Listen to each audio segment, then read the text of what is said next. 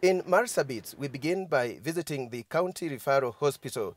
Again, authorities say the facility was not looking good and services were poor before devolution.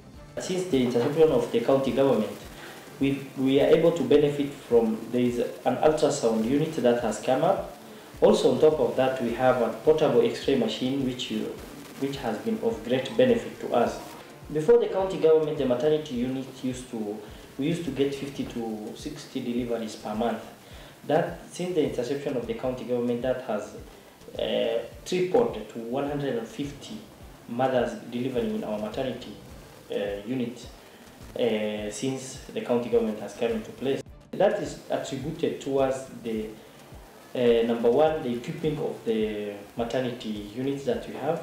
We've doubled the number of uh, the nurses that are working in our maternity unit. Previously, we just used to wash the linen from the patient using our bare hands. But uh, now, we, we're having a state-of-art uh, washing machine.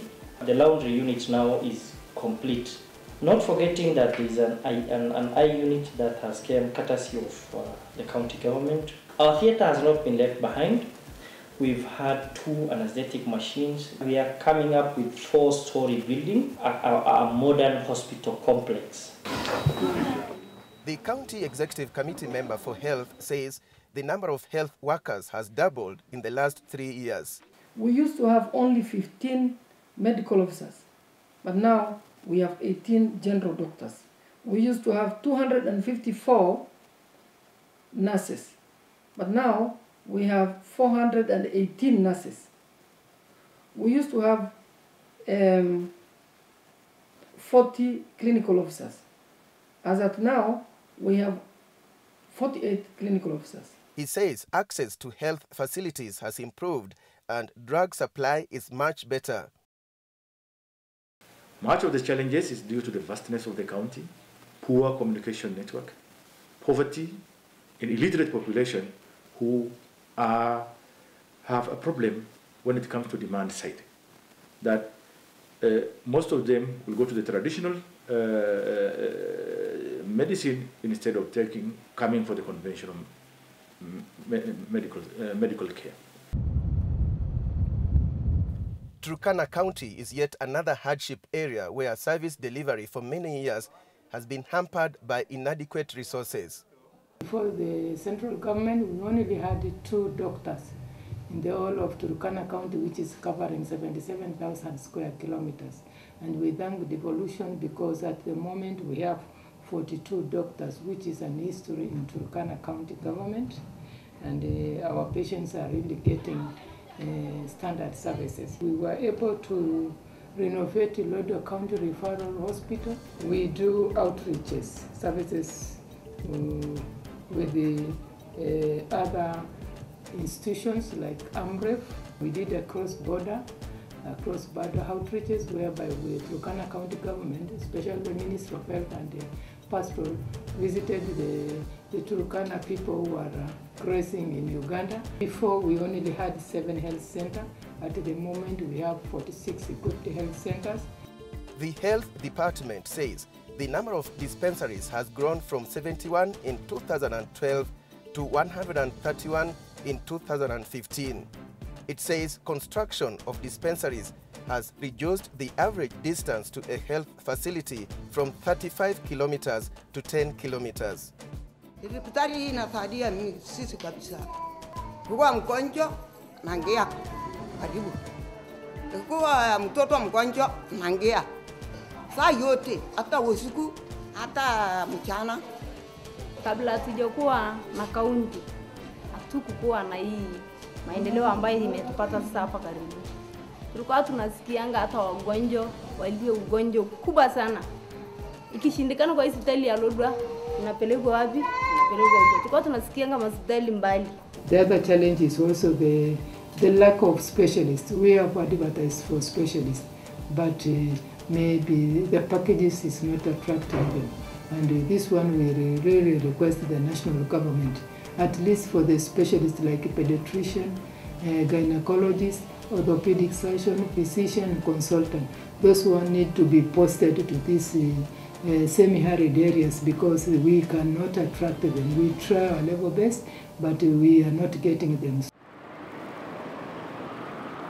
At the Nyeri County Referral Hospital, we sought to find out the impact of installment of equipment under the national government's managed equipment scheme.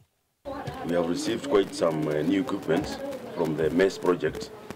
We also have an MRI equipment, which also had come earlier through a national uh, arrangement. So in this MES uh, equipment, we have the mammogram. We also have uh, an ultrasound unit. It's a modern high-tech ultrasound unit. We also have an OPG equipment. OPG is for examination of the, uh, the teeth. We have a digital X-ray equipment. This, we have also received an, another equipment, which is a mobile, digital mobile X-ray equipment, and this one will assist us so much in theater, no, in, in, in ICU. Earlier we had also received an uh, MRI. This is a magnetic resonance imaging machine, which can be used to examine patients' uh, brain, yeah, brain, the, the spines using mag magnetism, unlike CT where we use X-rays. The renal unit is another new installation. Now, our patient before we started the dialysis, they used to go to uh, Kenyatta Hospital. However, inadequate staff like in many other counties, is a big challenge. We don't have nurses, especially nurses who are doing the dialysis. We only have three nurses working here. And also the, the workload. Patients are so many, we are not able to handle them. So most of the time, most of them still go to KNH for dialysis. In Garissa County, before devolution, according to the county government, there were only two ambulances, all based at the then Garissa Provincial General Hospital. There were no referral services. There were only 20 doctors and 90 nurses, and supply of drugs was poor.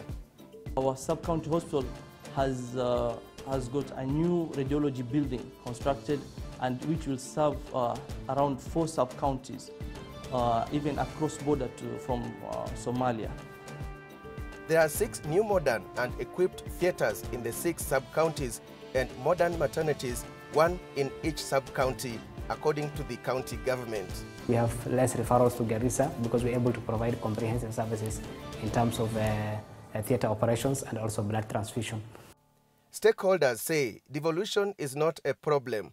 The problem lies in processes. Way forward in general terms is one, in terms of making devolution work, I'm convinced that there has to be a better coordination between the national government and the county governments in making sure that the systems that have been devolved are supported to work. And we have the Intergovernment Relations Secretariat, where both the county governments and the national government can sit and say, where is the problem in this system? Can we let the national government do this on our behalf, or how do we help the county government to strengthen their, their system without egos, power struggle, uh, the desire to have more funds? You know, if the focus, if the eyes are on the price, and the price is the health of the people and the well-being of the people, then the intergovernmental relations is the best secretariat is the best place they can get this done. As the Doctors Union, it's also our responsibility to give guidance to the country. Uh, doctors struggle every single day to save Kenyans' lives. And the same way we struggle to save Kenyans' lives, it is important that the same way Kenyans listen to us when you tell you, go take this medicine, you will get well, is the same way they should listen to us when we tell them, there's a problem here, can we manage it better? Devolution of healthcare isn't a bad idea, but it was mishandled. And it, the simple thing to do is to put a structure, and that structure requires change in legislation. The intention of the ministry through Kenya Medical Training College to have a, a training college in every county, if not two. And part of the training, the number to be trained will be from the local county so that we can build the necessary capacity. So as far as uh, what KMTC can do, we are trying very hard, and we are collaborating with the counties to open these KMTCs, and we are glad they are supporting the initiative. They see the value which is going to be there. On that note, we come to the end of the show, but keep the conversation alive. On Twitter, use the hashtag on your screen. And remember, we have more to come on other devolved services of the government. We are glad you followed the series on the health sector. And on behalf of the crew, bye-bye for now.